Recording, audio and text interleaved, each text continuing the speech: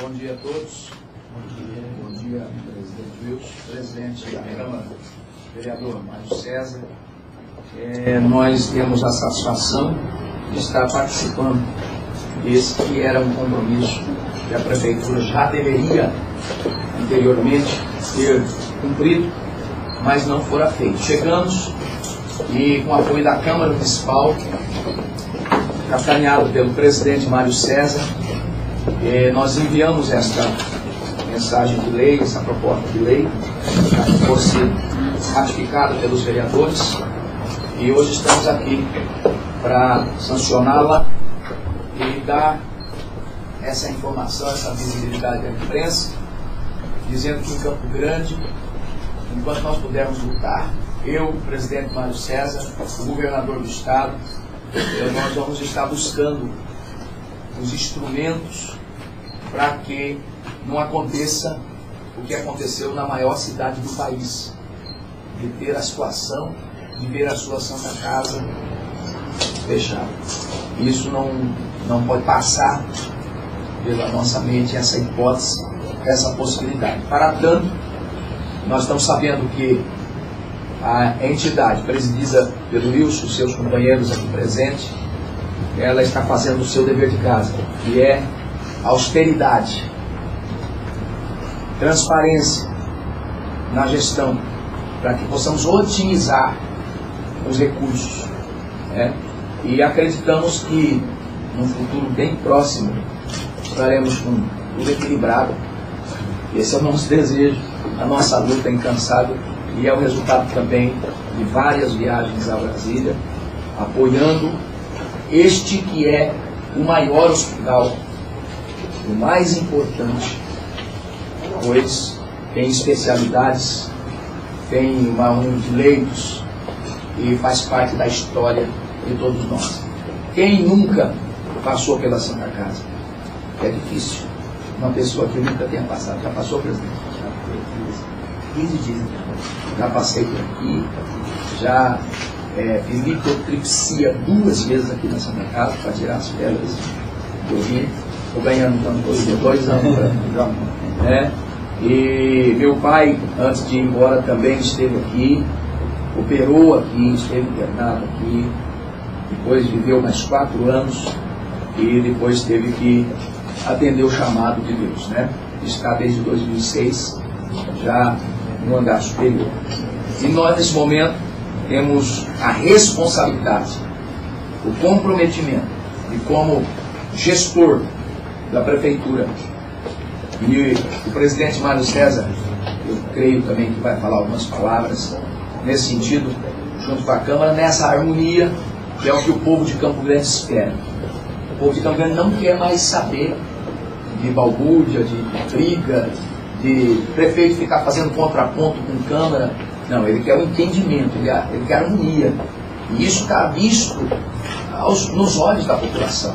A cidade voltou a ter paz, a cidade voltou a caminhar, a se desenvolver, as obras foram retomadas, é, a Santa Casa está sendo apoiada e outros hospitais também estão e outros serão apoiados assim que nós, até o final do ano, conseguirmos equilibrar as finanças da prefeitura, já que recebemos lá de uma, de uma situação muito difícil, é, com 320 milhões a menos no ano passado de receita. Acredito que juntos nós vamos conseguir é, alcançar esse objetivo que é o mais importante aqui hoje, é a sanção da lei já aprovada pela Câmara Municipal.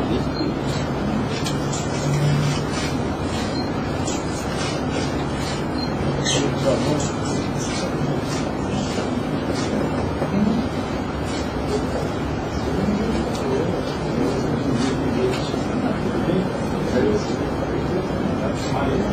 o sorriso do Vinícius. Estão aliviados. A Caixa Econômica agradece. O pior que vai lá. Isso significa só neste ano, só fazer a conta. 9 milhões. Vamos erguer.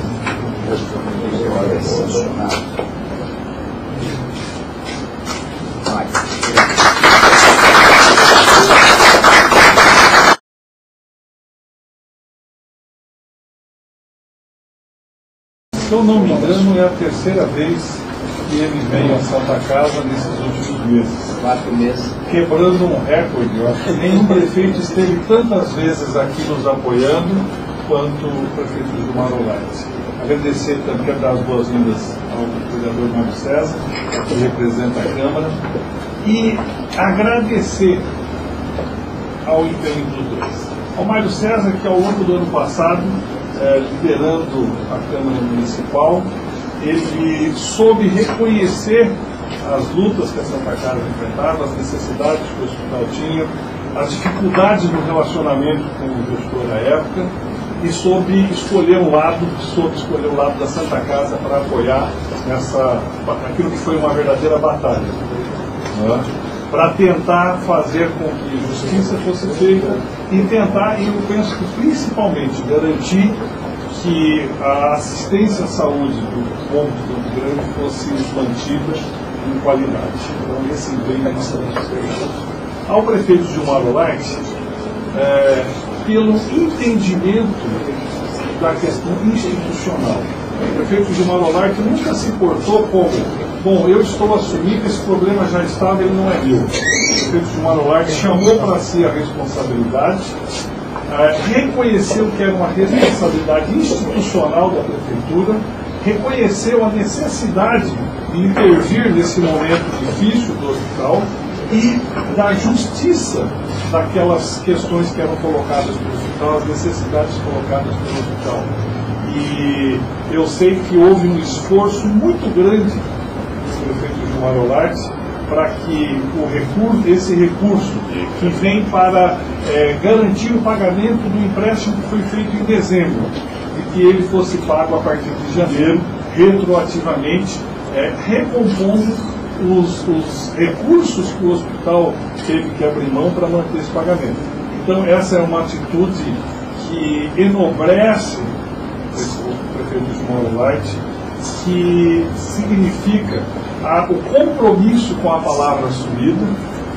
Poderia-se tecnicamente dizer: olha, prefeito, não vai ter jeito, então faz só o que puder.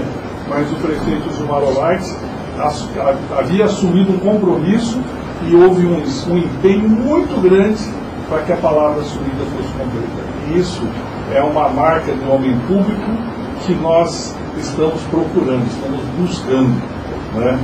Isso nos deixa muito felizes saber que nós, a cidade está sendo conduzida por um homem que assume aquilo e se compromete, cumpre aquilo que se compromete. Então, isso é, deixa toda essa diretoria administrativa muito feliz. Nós queremos dizer que esse recurso ele vai está permitindo que a Santa Casa honre os seus compromissos em relação às dívidas que foram realizadas anterior a 2013. E que, quando o prefeito fala que Santa Casa está cumprindo as suas obrigações, a Santa Casa não fez um centavo de dívida em 2013 e 2014. A Santa Casa conseguiu pagar dívidas, conseguiu fazer pequenos investimentos e, não, conseguiu não ampliar um centavo dessa dívida. E eu entendo que esta é uma vitória que essa diretoria, que este grupo é, tem que comemorar. Conseguir avançar dessa forma. É, portanto, está aí a nossa palavra de gratidão, de reconhecimento e a, a confiança que esse diálogo entre legislativo e executivo ela já tem dado frutos maravilhosos e vai dar, vai continuar dando bons frutos falou, é, o que nós queremos é o entendimento. Nós precisamos de entendimento. Quando os homens não se entendem, as pessoas que precisam pagam o preço. E aqui na Santa Casa o preço é muito alto, a vida das pessoas. Muito obrigado.